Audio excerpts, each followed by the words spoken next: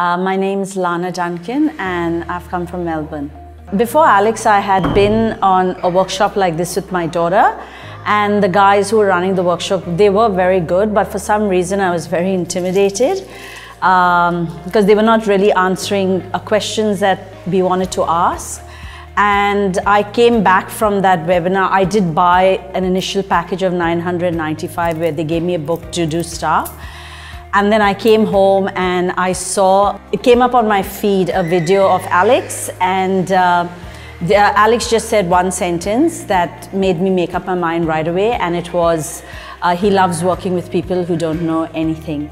And I refunded my money with the other uh, company and I went with Alex. Well, I've learned that uh, follow the training step by step and uh, just take your time. Uh, don't be in a hurry, it's not a race.